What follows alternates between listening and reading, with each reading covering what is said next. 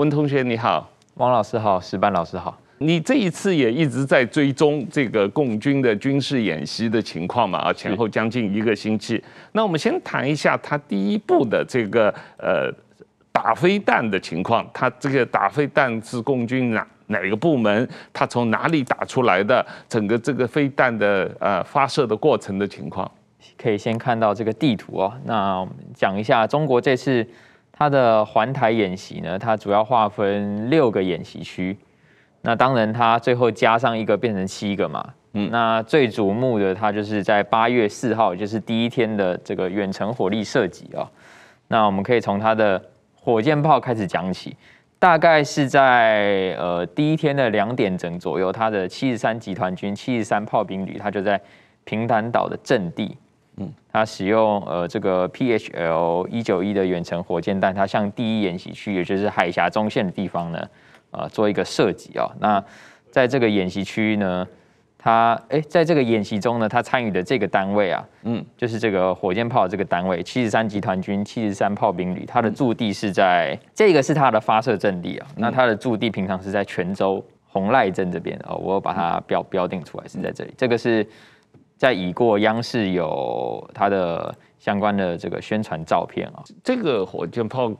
打到海峡中线大概有多少？三十海里，差不多是它飞行的距离大概是五十五到六十五公里，差不多。那那呃，确认这个位置，它它当时就是差不多在它的发射阵地，就是在在这个地方，它就是站在这个地方啊。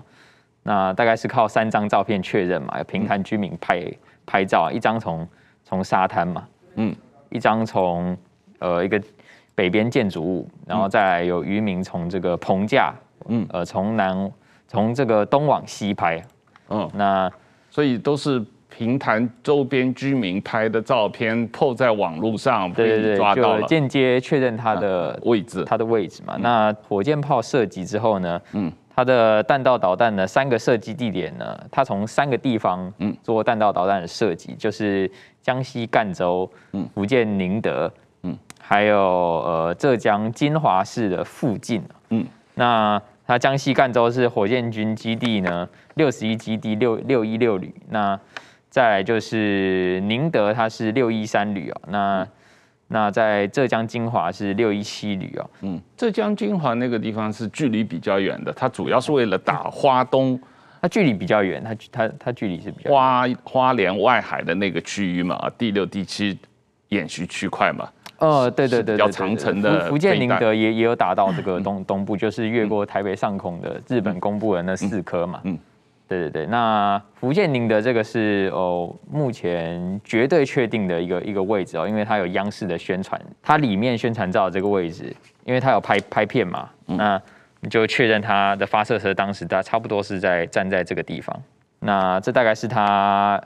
演习的呃参与的单位的一个情形啊，那他这次军演的这个远程火力射击，它是从第一天的下午两点，嗯，差不多到四点八分左右，大概两个多小时，嗯，所以从你能看到的网络上收集的这些资料，它实际上准备的飞弹并不多，它也就没打算要射很多个飞弹嘛。众说纷纭啦，它的烈度比较大，但是呢，它的持续性并不长，嗯，一九九六年。台海危机，呃，有八个月的时间，嗯，这一次呢，短短几天呢就结束了。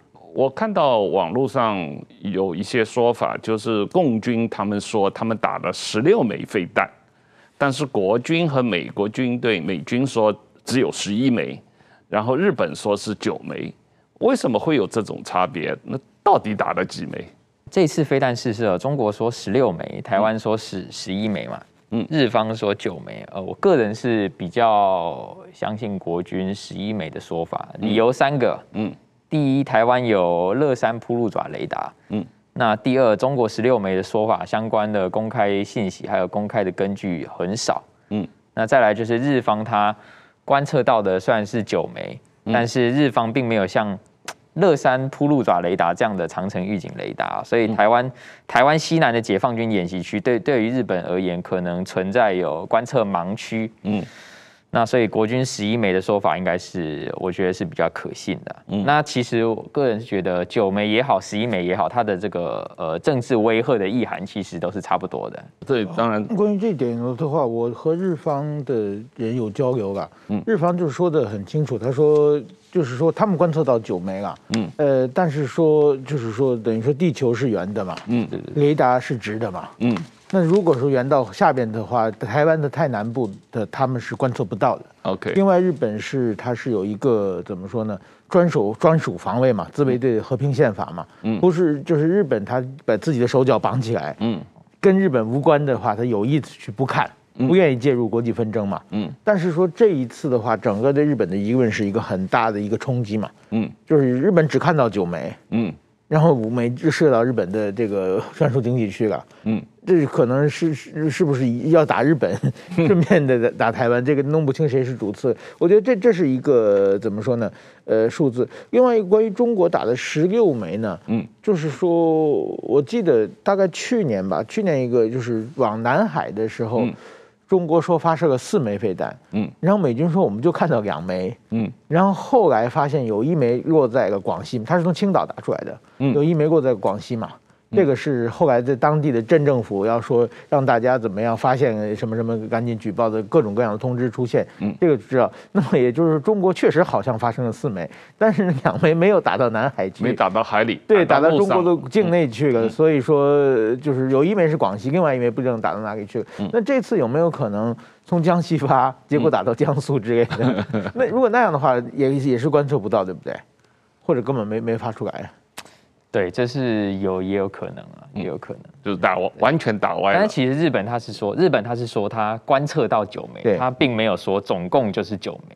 是，对对对对，观测到九枚，所以说他是有一份证据说一分话的嘛。对对对。那但是我们看到这次呃日本观测到的九枚里面有五枚打到了日本的专属经济区嘛啊，那为什么会是发生这种情况？特特别是这个专属经济区实际上是在这个。共军一开始给的那张呃六个演习区块，然后后来又加了第七个区块，主要是在花莲外海的那个地方嘛啊，那个地方是呃跟实际上是有点台湾的专属经济区跟日本的专属经济区有某种重叠的状态嘛啊，呃是是那那这样的话呃，共军是在开打前才指。一两个小时的时候，才突然之间把第七个演习区块加上去的。那如果当时日本有渔船在那里没有接到消息的话，这个导弹是有可能打到日本渔船上的嘛？啊，那如果真的被日本渔船被打到的话，这个呃，有就会出现更巨大的问题了嘛？是啊，这个渔船的问题，中国应该是比较没有考虑的。但是我觉得。呃，飞弹打到日本海域这件事情，应该也是经过习近平的授意了，它不是意外，嗯，它是刻意，它不是意外啊。那这是关于这个有三种说法吧，嗯，就是说第一种是，像是日本主流社会是这么想，就是习近平有意的要看日本的反应，震慑日本嘛，嗯。另外一个整个台海就是台海如果发生战事的话，台军怎么动，嗯，这个美军怎么动。大部分他们是可以预想的，但是日本的自卫队怎么动，他是完全是没有概念的。嗯，所以看看日本会怎么做，所以说日本社会有什么反应，这是中国有意打，这是第第一种说法。第二种说法呢是就是说没打准嘛，嗯，就是要打到南海，打到这个广西一样嘛，嗯，就是本来是想打到台湾海域的，没小心打打过去了，这是第二种说法。第三种说法是有一点那个什么，就是说本来要打台湾的，嗯。但是台台军给他诱导到日本去了。嗯，这这一点的话，当然说，呃，就是说，也有可能啊。如果如果这样的话，因为我们想，如果站在台湾的立场上讲，中共如果打过来，嗯，台湾的最大的念头就是说，怎样把美国、日本拉进战场嘛。嗯嗯，撤进来的话，现在把微弹这个飞弹给你诱准头给你诱导的话，是很容易的。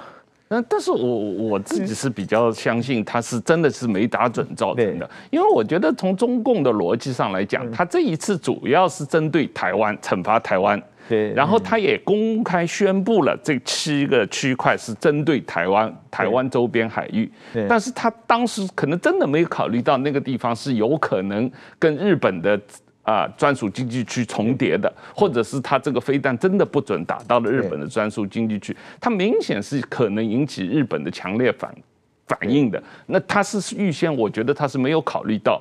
所以他才这么匆忙的两个小时飞弹演习以后，就突然之间宣布这个演习结束。对，这这个是这个是常常识的推推推推给了。对，另外一个打过去的时候，那个其实我看到日本报道，打过去之后，中国日本马上找抗议嘛。嗯。中中国的驻日本大使，他的第一时间回应的是是专属经济区，也是公海，我们事先呃就是通告日本了。嗯。他用这种说法，我们画全这个区域画画出来，事先告诉过日本，这是中国的大使的第一个时间反应。但是过了，这是八月五号嘛？嗯，八月八号的时候，嗯，汪文斌外中国的外交部发言人就说，那那你是划没划界啊？那地方没有划界，就是说就否认了日本专属经济区。那我想中国也是经过一连串的上，觉得这个事情没办好，嗯，怎怎么解套？对，就是说，因为实际上我是看那个专属经济区，它的重叠部分是台湾的专属经济区跟日本的重叠，实际上跟中国是没有重叠的。你中国不承认，对，除非你主张台湾是中国一部分，因此台湾的专属经济区就是中国的专属经济区嘛。逻辑上是这样，对吧？我我想他后来就是这个逻辑，就是说离台湾很专属经济是两百海里嘛，对。但是说你你如果我们靠得很近的话，应该就取中间线了嘛，对。取中间线。但是即使中间线也可能在日本的地方，是。但是中国就说我们没划界嘛，对。就是他这就完全属于强词夺理，对，强词夺理。这个说法是非常多，但是比较有意思的是，黄海和渤海的演习，对，呃，他。呃，针对美日的响定，这个意味也是非常浓的。它主要的目的还是针对呃美日的反介入，还有这个在真正发生战争的时候，这个首都北京它可能遭到威胁的状况来做一个响定啊。这也是针对美国、日本而来啊。各位朋友，我们的 YouTube 欢迎大家订阅，赶快拿起手机搜寻《三国演义》，一二三的三，国家的国，演员的演，议论的议，还在等什么？赶快拿起手机定下去。